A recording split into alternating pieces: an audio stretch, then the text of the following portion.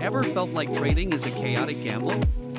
Well, what if I told you that applying scientific methods can turn it into a disciplined pursuit of knowledge? Just like in medicine, defining variables, selecting study designs, and using statistical analysis can bring clarity to trading.